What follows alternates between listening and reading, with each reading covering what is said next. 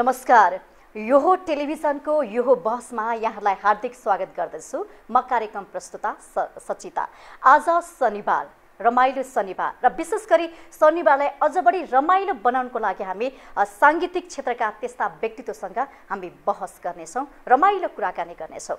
आज पनि हामीले यो बहसमा विशेष गरी साङ्गीतिक क्षेत्रमा लामो समयदेखि सक्रिय रहनुभएका एकजना अतिथिसँग आज हामी रमाइलो कुराकानी गर्नेछौँ। साङ्गीतिक क्षेत्रको यात्रा अवस्था र उहाँले जुन साङ्गीतिक क्षेत्रमा छोटो समयमै उहाँले जुन एउटा नाम कमाउनु भएको छ र योगदान दिनुभएको छ आज हामी यो सेरोफेरमा रहेर चाहिँ बहस गर्नेछौँ र उहाँले गाउनुभएका गीतहरू पक्कै पनि लोकप्रिय र चर्चित रहेका छन्। तिमी आउने बाटोमा र सुनेको दरबार लगायत थुप्रै गीतहरू तपाईँहरूले दर्शक श्रोताहरूले अत्याधिक मात्रामा मन पराइदिनु भएको छ। आज हामी उहाँसँग नै बहस गर्दैछौँ। उहाँ हुनुहुन्छ सङ्गीतकार गायक र गीतकार डिजराज पौडेल। यहाँलाई हार्दिक स्वागत छ। हस् यहाँलाई पनि धेरै धेरै धन्यवाद। आज शनिबार हामी विशेष गरी शनिबार चाहिँ रमाइलो कुराकानी गर्छौँ होइन? यहाँ सुरुमै कुराकानी गरौँ। अ, साङ्गीतिक यात्रा कस्तो भइरहेको छ तपाईँको? यात्रा सुगम छ। पहिला सुरु सुरुमा अलिक दुर्गम थियो यात्रा। हजुर। अब अहिले चाहिँ बिस्तारै अब किनभने गीतहरूलाई पनि मन पराइदिनु भएको छ। आम नेपाली दाजुभाइ दिदीबहिनीहरूले भनिहाल्नु अघि तिमी आउने बाटोमा सुनेको दरबार। तिमी करमा मतलब रोडमा लगायत। मेरा धेरै गीतहरू अनि यात्रा अब जस ठिकै छ. जस्तो तपाईँको सुरुवातमै जुन तिमी आउने बाटोमा तपाईँले जुन यो गीत निकाल्नुभयो होइन? यो चाहिँ गीत सर्वाधिक मात्रामा दर्शक श्रोताले रुचाउनु मात्र भएन। तपाईँलाई चाहिँ एउटा गायक भनेर एउटा नाम दिनुभयो परिचय दिनुभयो होइन? खास यो गीत चाहिँ कसरी सिर्जना गर्नुभयो तपाईँले? एक्चुली त्यस्तो थियो नि मेरो पहिला घर सिन्धुली अब यता काठमाडौँमा मैले चिनेको त्यो कुनै गीतकारहरू होइन अनि सङ्गीतकारहरू कोही पनि थिएन अब एक्लै स्ट्रगल गर्दाखेरि कोबाट गीत माग्ने कोबाट सङ्गीत माग्ने म त अलमन र रनवलमा परेको थिएँ होइन अनि आफैले जानी नजानी गीत लेखेँ अनि एडमिट चामलिङ यसको एरेन्जर हुन्छ अब लेख- लेख्दै लेख्ने क्रममा त्यो पहिलो एल्बमको प्रायः गीतहरू सबै मैले लेखेको छ होइन सङ्गीत पनि मेरो आफ्नै हो अनि लेख्ने क्रम त्यो छ मुटुमा बास मागे छोरा चलायो भने त्यो मतलब सेन्टि सेन्टिमेन्टल पनि छ अनि पप टाइपको गीतहरू पनि होइन अँ। त्यही त अब यही गीतलाई चाहिँ भिडियो गर्नु पऱ्यो भनेर मैले यसलाई मार्केटमा भिडियो गरेर फालेँ फालिसकेपछि त प्रायः सबैले मन पराइदियो। तिमी आउने बाटोमा फुल रोपिदिउँ तिमी आइनौ। र त्यसपछि कमेडियन आर्टिस्टहरूलाई पनि मसला पनि भइदियो। अब तिमी आउने बाटोमा फुल रोपिदिउँ तिमी आउने बाटोमा फुल रोपिदिउँ कसरी आउने त? मायालु आउने बाटोमा त कमसेकम अलि सारसफाइ हुनु पऱ्यो फुलेर फुल टेकेर आउनु त मिलेन। यी खालका खिटकाहरू पनि विभिन्न सिक्वेन्सहरू मिल्यो। र समग्रमा त्यसरी नै मेरो यो गीत जन्मेको मलाई प्रा- परेरै ट्रेजेडी परेर ओहो पीडित भएर मैले लेखे पनि होइन जस्तो यो गीत एकचोटि सुनाउनु त यो गीतले जसरी तपाईँलाई एउटा नाम दिएको छ गायक भनेर होइन सम्मान दिएको छ यसको ब्याज अहिलेसम्म हामीले खाइरहेको छौँ अब हामी पनि त यो सुनाउनु त के छ हुन्छ हुन्छ ल भोकल पनि अब बिहान बिहानै पनि भएन तिमी आउने बाटोमा फुल रोपिदिए तिमी आइनौ। देउरालीमा कसम खाई माया लाउँछु भन्थ्यौ किन लाइनौ? टाइपको। जस्तो यो गीत सँगसँगै तपाईँले थुप्रै गीतहरू निकाल्नु भएको छ तर सबै गीतहरू दर्शक श्रोताले चाहिँ मन पराइदिनु भएको छ होइन? अब यो पछिल्लो समयमा कस्तो गीतहरू ल्याउने प्रयासमा हुनुहुन्छ तपाईँ? अहिले कस्तो छ मे- म म आफ्नै तरिकाले चलिरहेको मान्छे हो। म फलानाले यस्तो गरेँ म त्यतातिर कुद्ने फलाना यो बाटोको त म त्यता म मेरो आफ्नो बाटो छ होइन? म आफ्नो स्टाइल मेरो आफ्नो गाउने तरिका लेख्ने सङ्गीत गर्ने। त्यो पछि सुनेको दरबारलाई पनि अत्याधिक रूपमा म गाउँछु प्र प्रायः सबै प्रोग्राममा देश विदेशमा हुने कार्यक्रमहरूमा। अनि तिमी करोडमा म त रोडमा सिम्पल छ बेस्ट छ। नाच्ने चाहिन्छ नाच्ने चाहिन्छ भन्ने पनि छ नि त अहिले सोसाइटीमा। अनि अहिले एउटा गीत नाच्छ फुलबुट्टे साडीमा चाइना घुमाउला मोटर गाडीमा भन्ने। नसुनेको मान्छेले पहिलोचोटि त्यो भिडियो नहेरेको मान्छेले पनि स्टेजमा नाच्दैछ त्यो बिटमा नाच्ने होइन? अर्को एउटा टिपिकल गीत छ ओदानमा हाँडी हाँडीमा मकै मकै भुट्ने कप्टेरो नक्कलीलाई भैँस साह्रै प्यारो या झिल्कीलाई अप्ठ्यारो। अनि यो टाइपको फनी फनी टाइपको पनि छन्। मौका परेपछि भन्ने गीतहरू पनि छ त्यसले गर्दाखेरि चाहिँ मेरो आफ्नै तरिका गीतहरूबाट चाहिँ मैले दर्शक श्रोताहरूको माझ पुगिरहेको छु। जस्तो सुनेको दरबार भने यो गीत पनि सबैले मन पराउनु भएको छ। एकचोटि यो पनि सुनाउनु त। यसको गीतकार हुनुहुन्छ दिल पौडेल जो मलाई पनि मनपर्छ फ्याक्ट भन्दा यो चाहिँ कस्तो भने वास्तवमा यसको पनि एउटा कहानी थियो के? मतलब नारी पुरुष जति महिला पुरुष बराबर हाम्रो नेपालमा भने पनि कता न कता कुनै न कुनै दृष्टिकोणले महिलामाथि शोषण नै छ। चाहे बिहे गर्ने बेला बेलामा तराईमा दाइजो दिनु पऱ्यो भने त उसको त्यो छोरीको बाउको चाहिँ तालु पुग्छ कति कट्ठा जग्गा बेच्नु पर्ने हो। दहेज बिना त काम चल्दैन। प्र्याक्टिकल रूपमा त त्यो छ नि। यद्यपि भने पनि नारी पुरुषको माया प्रेम चाहिँ बराबर हुनुपर्छ। त्यो खमायामा त्यस शर्तमा चाहिँ मैले गीत लेख्न लाग्यो यो। यस्तो छ। सुनैको दरबार दिन तिमीलाई सक्दिन। चोखो माया दिउँला हजुर। फाटेको मान बोकी सधैँ जिउन सक्दिन। आऊ फेरि सिउँला हजुर। नारीलाई त्यसरी माया प्रेम एक हातमा पैसा मात्रै ठुलो कुरा होइन। लभ इज भेरी इम्पोर्टेन्ट भन्ने देखाउनको लागि चाहिँ मैले यो गरेको। जस्तो कुनै पनि गीत सिर्जना गर्नको लागि मौसम चाहिँ कस्तो हुनुपर्छ? ए त्यो मौसम पनि खोइ होइन कोही भन्छ म पानी परेर बेला राम्रो गीत लेख्छु, हावा चलाएर लेख्छु भन्छन् होइन। कोही चाहिँ चट्टाङमा बसेर हुन्छ नि चट्टानमा बसेको बेला चाहिँ एक्लै गीत लेख्छु भन्छन्। कोही चाहिँ मरुभूमिमा लेख्छु भन्छन् होइन। मेरो चाहिँ त्यस्तो हुँदैन। फ्रेङ्कली स्पिकिङ होइन। अब म सिक्वेन्स एउटा कुनै एउटा मेलोडी क्रिएट म वास्तवमा कम्पोज चाहिँ गीत गुनगुनाउँछ नि त। मूल त म गायक हो। गायक पश्चात म कम्पोजर चाहिँ हो। कम्पोजर भएको त्यो त्यो भित्र एउटा मनमा एउटा कहिलेकाहीँ पीडा हुन्छ। हामी जतिसुकै पैसा नै भए पनि मान्छे खुसी हुँदैन नि त। हजुर हजुर। कोही भएर दुखी छ कोही नभएर दुखी छ। अभावभित्रको भाव त हामीले खोज्नु पऱ्यो। अनि कुन मुडमा एउटा मेलोडी जन्मिन्छ? त्यही मेलोडीमा कस्तो खालको मेलोडी छ पीडित मेलोडी जन्मियो भने त्यहाँ पीडित शब्द लेख्छु म। ट्रेजेडी परेको। अनि रमाइलो कहिलेकाहीँ प्रकृतिवादी हुन्छ।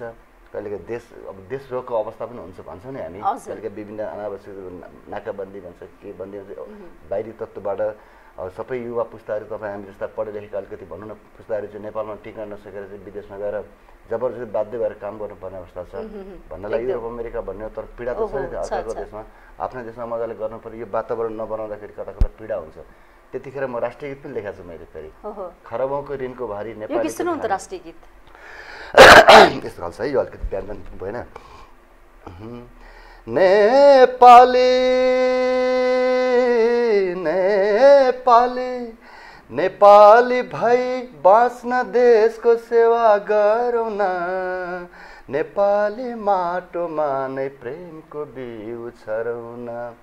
काँधमा काँध मिलाई हामी अघि बढौँ न। बुद्धको शान्ति फेरि स्वदेशमा छरौँ न।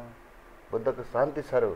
काँधमा काँध मिलाएर अहिले यहाँ त काँधमा काँधेर कि तत्तरमा तँभन्दा म के कम भनेर झन्डा बोकेर काठमाडौँमा हामी नेपाल अभिराज कुदिरहेको अवस्था छ।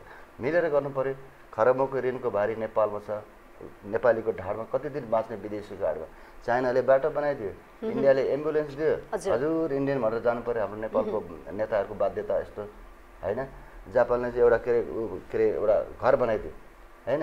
हामी त्यसमा आफमा बाँच्नु पर्ने नेपाली त होइनौँ। यस्तो सङ्गीत कर्मीहरूलाई विशेष गरी चाहिँ इन्टरटेनमेन्ट भन्छ नि रमाइलो गीत मात्रै गाउँछन् देशप्रति चाहिँ आस्था माया छैन भन्ने हुन्छ। तर यहाँले चाहिँ एउटा हो रमाइलो राइट? कुरा गर्नु। रमाइलो हुनाले रमाइलोको स्टेजमा हामीले गाउँदाखेरि त्यो छ। तर यो किनभने एउटा सन्देश पनि त दिनु पऱ्यो नि। हामी नेपाली विश्वको सबैभन्दा सुन्दर भूभागमा बस्छौँ।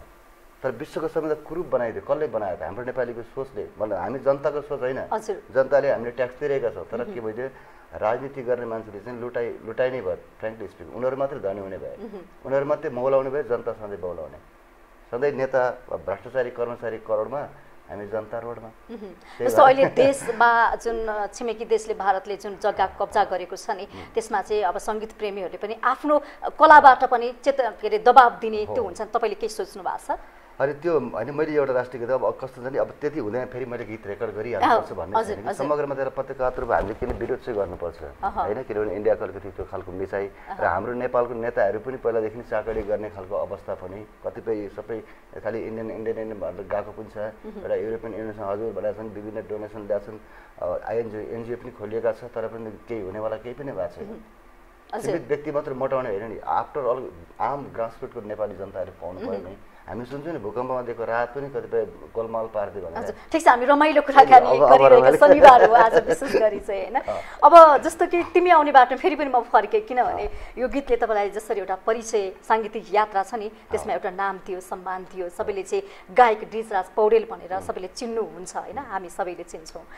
जस्तो यो गीत सिर्जना सँगसँगै कति मान्छेले सङ्घर्ष गर्नुहुन्छ नामको लागि के? मेरो नाम स्थापित होस् यो क्षेत्रमा म योग्य बनौँ होइन? सबैसँग साम परिचित हौँ भनेर।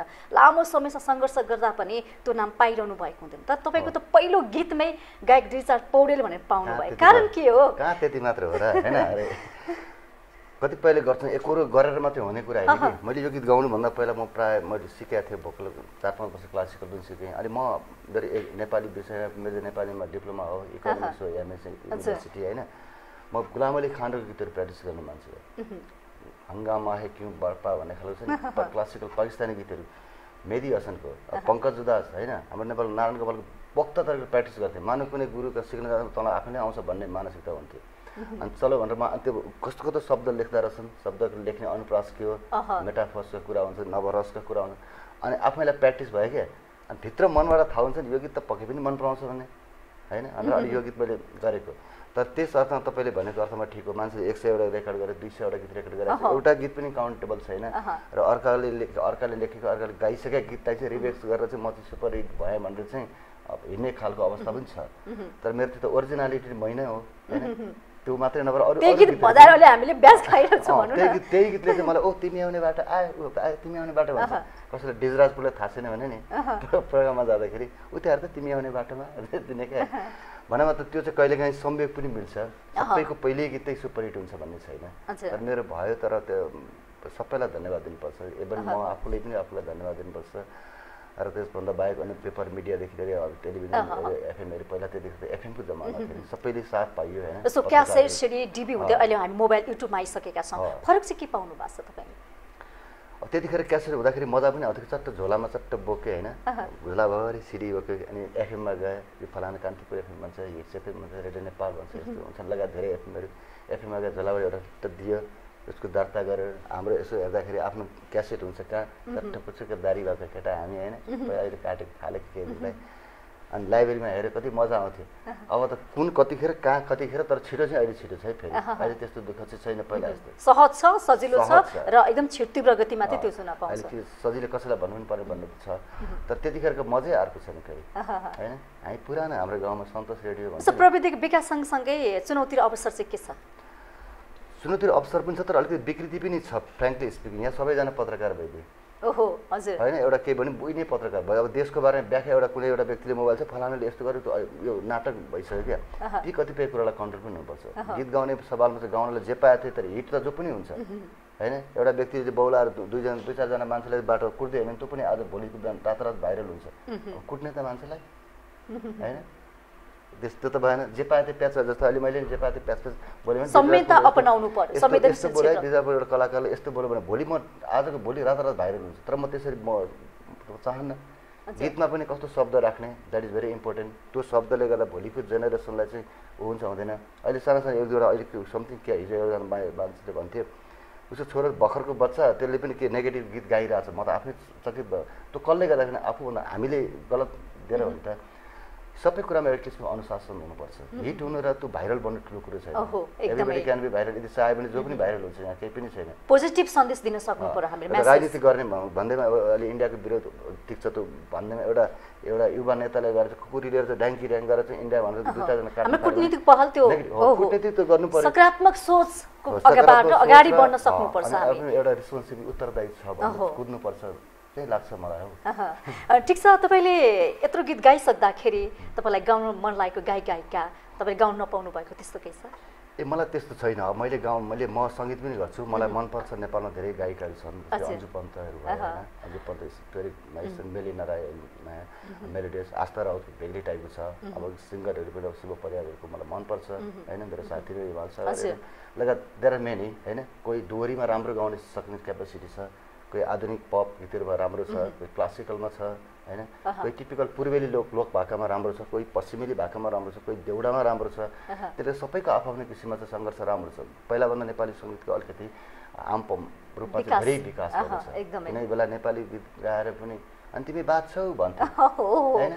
हजुर तिमी मलाई प्रश्न यही कुरा मैले फेरि तपाईँलाई प्रश्न गर्छु होइन साङ्गीतिक क्षेत्रमा धेरै गुमाएँ तर केही पनि कमाइनँ केही पाइनँ भन्ने पनि छन् तपाईँले चाहिँ के गुमाउनु भयो के पाउनु भयो? मैले त सबै थोक पाएँ नि ओहो हजुर. म नभए यो गीत नगाएको भए मैले आफूले पैसा खर्च गरेर ताप्लेजुङ जिल्लामा जानु पर्थ्यो। होइन? आफूले पैसा खर्च गरेर जुम्ला मुगु यता राराताल यी सबै दुनियाँ हेर्न जानुपर्छ तर उनीहरूले नै पैसा खर्च गरेर अर्गनाइज बोलाएर सर भनेर बोलाउँछन् होइन? गीत गाइदिनुहोस् न तपाईँले हामी आनन्दित हुन्छौँ भनेर चाहिँ गर्छन् र अलिकति खुत्रीको पैसा पनि दिन्छन् होइन? अनि? अनि कसरी मैले गुमाएँ त? दुई चारजनाले चिन्छन् पनि। पैसा त हाम्रै कमाउनु भएको छ जिन्दगी नै कमाए जस्तो बिस रुपियाँ जग्गाको मालिक छ एक कप चिया अर्काले खुवाइदियो हुन्थ्यो भन्ने मानसिकता पनि छ नि त। खै त पैसाले कहाँ मान्छे खुसी छ त। होइन? त्यसले गर्दाखेरि पैसाको एउटा गीत सुन्नु न तपाईँको छ नि। सुनको पैसा के भन्ने एउटा गीत छ तपाईँको। पैसा हो हो त्यो गीत सुनौ न। ए यो पी पाण्डे लेखेको यो पनि राम्रो छ। तर स्टेज कतिपय हामी के भन्छौँ अहिले स्टेज जस्तो पैसाको महत्त्व। कस्तो हुन्छ भन्ने कुरा नि त्यो झल्केको छ। सुनको पैसा पैसो छ नि सुनको। अँ, एकदम. सुनको पैसो सुनैले तिरौँला नुनको पैसो नुनैले तिरौँला छाडी गयो न भन्नु मेरी निर्माया गुणको पैसो गुनैले तिरौँला। अब गुणको कुरा गरौँ के होइन? तपाईँलाई चाहिँ यो साङ्गीत क्षेत्रमा कस्तो कस्तो व्यक्तिहरूले गुण लगाउनु भयो हुन्छ नि प्रेरणा पाउनु भयो तपाईँले कस्तो राम्रो कुरा मेरो चाहिँ फेरि होलसेलमा कुरा जान्छ क्या। मलाई फलाना व्यक्ति चाहिँ मेरो मात्र आदर्श पुरुष भन्ने हुन्छ नि। चाहिँ यसको कारणले गर्दाखेरि भएँ। यो सङ्गीतकार मात्रै मेरो यस्तो यो गीतकार यस्तो यो मात्र व्यक्तिले हजुर। ब्लाइन्ड भन्ने छैन कि। ओभरअल छ। कुनै पनि एफएममा भयो त सबै जति पनि एफएमहरू छ सबैको एफएममा आरजेहरूले एफएममा हुन्छ नि। सबैले राम्रो रिस्पोन्स गरेर गीत बजाइदिने मेरो। तिमी आउने बाटो मात्रै सुने लगायत थुप्रै गीत तिमी करोडमा म त रोडमा यो गीत पछि हामी सुन्छौँ। अनि अब टेलिभिजन च्यानलको पत्र मिडियाको आरजे भिजेहरूले बजाइदिनुहुन्छ होइन? सबैले राम्रो रेस्पोन्स गर्नुभएको छ। अब अहिले तपाईँहरू युट्युब मार्फत पनि यो छ। यो भयो पत्र पत्रिकाहरू मार्फत मैले कुनै पनि सबैलाई मैले धन्यवाद दिनुपर्छ। होइन? अब मेरो गुरु धनबहादुर गोपाली र एनबी चामलिङ अब सिकेको चाहिँ गुरु चाहिँ उहाँहरूबाट सिकेको उहाँलाई फेरि विशेष धन्यवाद पनि दिनुपर्छ। मेरो भिडियोमा खेल्ने मोडलहरू केटाकेटी क्यामेरा सबैप्रति तपाईँको एउटा विशेष सम्मान आभार छ अन्टायर टिमले नै गर्ने एउटा भिडियो राम्रो भयो अरे कसले फलाना डाइरेक्टरले मात्रै राम्रो बनाउने हो र त्यहाँ क्यामराम्यान पनि राम्रो भनिन्छ टिमवर्क टिम एकदम, एकदमै। सबैलाई राम्रो जस्तो तिमी करोडमा म त रोडमा। साङ्गीतिक क्षेत्रमा कतिपय करोडमा हुन्छ कतिपय रोडमा हुनुहुन्छ। तपाईँ त करोडमै हुनुहुन्छ यो त कसरी चाहिँ सिर्जना गर्नुभयो यो पनि यसो हेर्छु होइन गाउँमा घरमा अब लभ पर्छ नि मान्छे केटाकेटी बिचको पुरा लभ परेको छ ओहो मेरो त फलानुको छोरी त मेरो गर्लफ्रेन्ड हो नि भन्छ। अनि यसो हेर्छु तेरो त्यो पाइन पनि फाटेको लाउने सक्ने तेरो क्षमता छैन। त्यो केटी पुरा करोडपति छ त्यत्रो सम्पत्ति छ तँलाई दिन्छ त्यसको बल हाम्रो लभ हो नि भन्छ। लभ होइन लभ भन्दा यहाँको पैसा रोल इज भेरी इम्पोर्टेन्ट थाहा छ लास्टमा ट्रेजेडी पर्छ नि त। अनि केटा पीडित हुन्छ। केटी त धनी छ उसको बाउले त तँ जब नाथेलाई मेरो छोरी भनेर म जम उसको जमिनदारको छोरी भन्ने त छ नि। अन्त केटा धनी भयो भने केटीलाई पनि त्यो प्रब्लम हुन्छ। एकदम एकदम दुवै पक्ष हुन्छ। अनि त्यो यसो सिक्वेन्स बनाएर मैले लेखेँ तर यो धेरैलाई म्याच हुँदो रहेछ।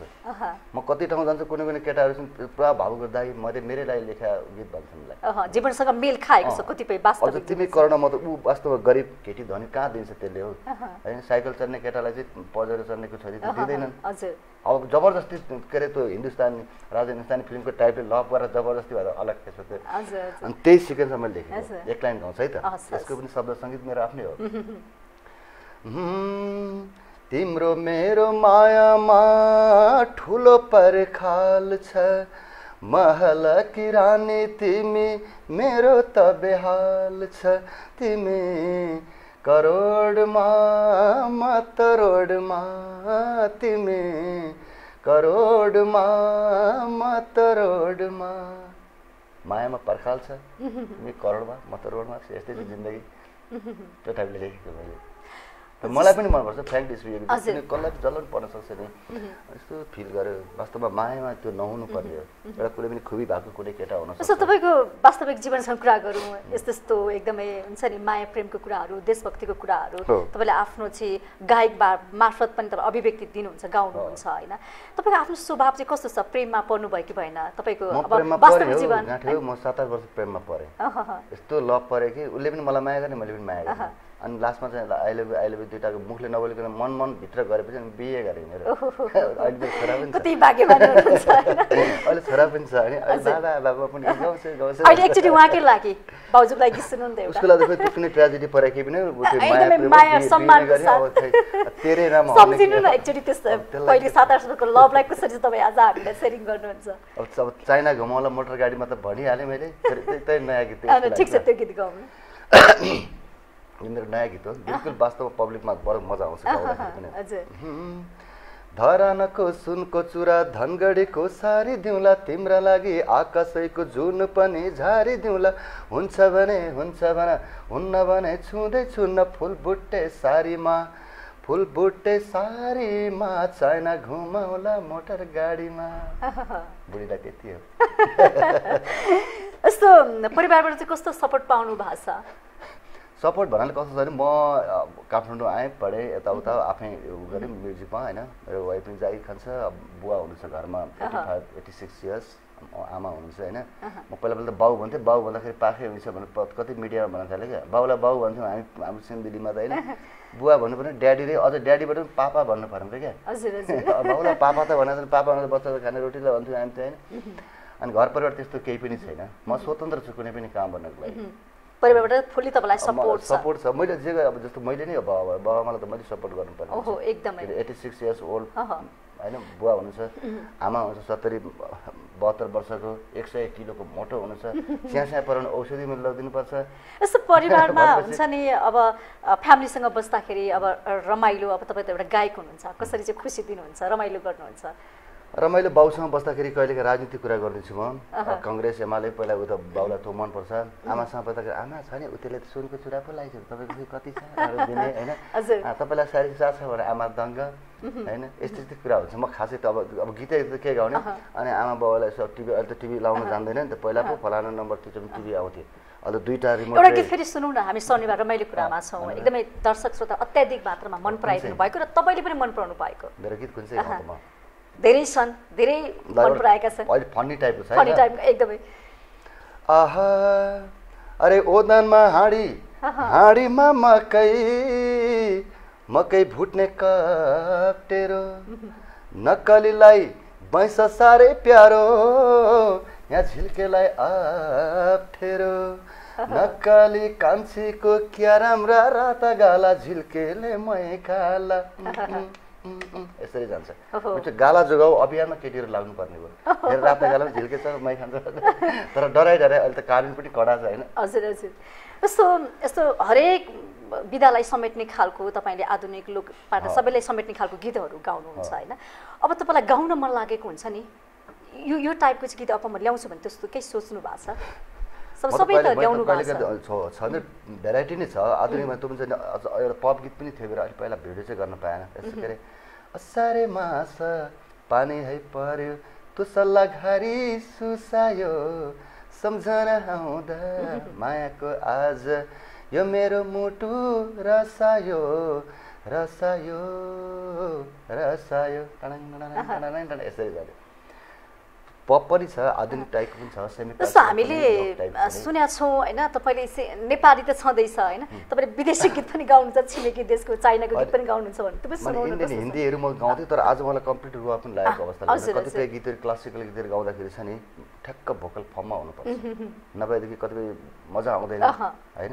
गाउन त मलाई केही प्रब्लम छैन म गजलहरू गाउने न हो मेरै आफ्नो चाइना गीत सुनौ न त। चाइनिज त चाइनिज त चाँचो चाँचो त आउँदैन त त। चाँचो चाँचो त कमेडी हिन्दीहरू चाहिँ म गाउँछु होइन नेपालीहरू पनि। अलिक त्यो चाहिँ अलिकति अप्ठ्यारो हुन्छ क्या त्यसमा। आफ्नै एउटा गीत गाइदिउँ एकदमै ढुङ्गा खोज्दा देउता मिल्छ। मौका परेपछि मौका परेपछि जितिन्छ हरेकै बाजी चौका परेपछि मन साटिन्छ उमेरैमा माया गाँसिन्छ उमेरैमा हो साँच्चै आँटिन्छ उमेरैमा मायालु। होइन त? तपाईँले साङ्गीतिक यात्रामा कुन त्यसो चौका परेको छ? चौका पऱ्यो भने त्यस्तो हुन्छ नि एकदम बम्पर उपहार भने त्यो त्यस्तो टाइपको हुन्छ होइन। मलाई सबैजना उपहार भन्नु नि पहिलो गीतै पहिलो गीतै छ, त्यो किनभने। पहिलो गीत मैले सोचेकै थिएन म गायक बन्छु कि भन्ने के थाहा। होइन मैले त यसो तिमी आउने बाटो गरेको सबैले मन परायो कहाँ कहाँ त्यसैलाई। तपाईँको उपहार त्यसैलाई मान्नुहुन्छ। मान्नुभयो साङ्गीतिक क्षेत्रको उपहार होइन? यद्यपि मेरो सुनेको दरबार अब यो मौका परेपछिदेखि लिएर टिभी करोडमा मत रोडमा एफोल बिटे सारी यी लगायत धेरै गीतहरू छ होइन? पापिनले सुन्ने सुनिन अनि टाइपिक ट्रेजेडी पनि छ। पापिनीको भन्ने सुनौ न एकचोटि। बिहान बिहानै पापिनीवाला गीत गाइदिउँ न यसो गीतकार हुनुहुन्छ भरत कार्की भरत सुतार कार्की हाम्रो सशस्त्रको एसपी पनि हो उहाँ हुनुहुन्छ होइन। तर उहाँले लेखेको बडो राम्रो राइटर पनि हुनुहुन्छ। कतिपय नेपथ्यमा धेरै राम्रो राइटरहरू हुनुहुन्छ। एक लाइन गाउँछ है त्यसलाई। पापिनीले सुन्दै सुनेन पापिनीले सुन्दै सुनेन मेरो सुन्दै सुनेन ओ छाडी नजाऊ भने कति हार गुहार गरे मैले छाडी नजाऊ भने कति हार गुहार गरे मैले पापिनीले सुन्दै सुनेन मेरो सुन्दै सुनेन अब तिमी आउने बाटोमा अब यो- सुनौ त्यसपछि हामी बिदा माग्ने बेला पनि? छ हजुर किनकि तपाईँलाई। एकदम अन्तराबाट गाउँ अन्तराले चाहिँ एउटालाई मन पराएको छ क्या मान्छेले वास्तवमा धेरैलाई यो धन र मनका कुरा हुन्छ धन मनका गीतमा पनि कतिपय त्यो किन ग्याप त छ नि। हजुर। मैले त्यसलाई जोडेँ कतिखेर लेखेँ त बेग हाने भन्ने शब्दहरू आ आउँछ क्या कहिले फुर्छ क्या होइन? के के आउँछ दिमागमा खेल्छ नि त्यसरी शब्द आउने एकदमै। मन थिएन भने तिमीले झुठो कसम किन खायौ? मन हुनेलाई छाडिदियौ धन हुनेलाई माया लायौ। आफ्नोलाई नै पराई ठाने गयौ बेग हाने तिमी आइनौ। देउरालीमा कसम खाई माया लाउँछु भन्थ्यौ किन लाइनौ? तिमी आउने बाटोमा फुल रोपिदिए तिमी आइनौ। हस्। यो यो बहसको यो शनिबारको रमाइलो कुराकानीबाट हामीले बिदा माग्ने बेला भइसकेको छ। तपाईँले हाम्रो निमन्त्रणा स्वीकार गरेर। हाम्रो स्टुडियोसम्म आइदिनु भयो। धेरै धेरै धन्यवाद। मलाई पनि धेरै धेरै खुसी लाग्यो हाम्रो यो के अरे यो हो कनेक्सन? यो हो टेलिभिजन, टेलि- यो। हो टेलिभिजन मार्फत यो पहिलोचोटि यो अनलाइन युट्युबबाट आउने। र हाम्रो विश्वमा इन्टरनेसनल टेलिभिजन। इन्टरनेसनल टेलि यसमा मलाई पनि धेरै धेरै धेरै खुसी लाग्यो। मेरो दुई चारवटा मेरो अब गीतहरू पनि सुनाएँ गफ पनि गरेँ। कतिपय के छ फेरि म अलिकति गीत गाउने गायक सङ्गीतकार गीतकार मात्र नभएर अलिअलि म कमेडी पनि हाल्नु थालेको। हुन्छ नि रमाइलो नै जिन्दगी। A day without laugh is a day loss भन्छ क्या। एकदमै। जति छ त्यसमा रमाउनु पनि पर्छ हाँसेर बाँच्नुपर्छ दुःख सुख त सबैलाई छ। त्यसले गर्दा सम्पूर्ण अन्टायर टिमलाई नै म बहिनीलाई अनि टेक्निसियन सरलाई लगायत सम्पूर्ण अन्टायर टिमलाई नै म धन्यवाद दिँदै आगामी दिनमा पनि मेरा निकै गीतहरू भिडियोहरू आउँदैछ। आम दर्शक श्रोताहरूलाई म सुनिदिनु होला। नराम्रो भयो नराम्रो भनेर प्यास प्रतिक्रिया दिनुहोस् म त्यसमा खुसी हुन्छु। राम्रो छ भने फुर्क- फुर्क्याएर फेरि म फुर्किनेवाला पनि छैन। नराम्रो नराम्रो कतिपय म चिन्छु। एकदमै। त्यो प्रतिक्रिया दिनु हुन म अनुरोध गर्दै धन्यवाद दिन चाहन्छु। हस् धन्यवाद। आदरणीय दर्शकबिन आज हामीले साङ्गीतिक क्षेत्रका एउटा हस्तीसँग चाहिँ रमाइलो कुराकानी गऱ्यौँ मैले पनि यो यो बसबाट बिदा माग्ने बेला भइसकेको छ। यो टेलिभिजन हेर्दै गर्नुहोला। नमस्ते। मलाई आज छ नि भाइ मलाई रुवा लाग्यो।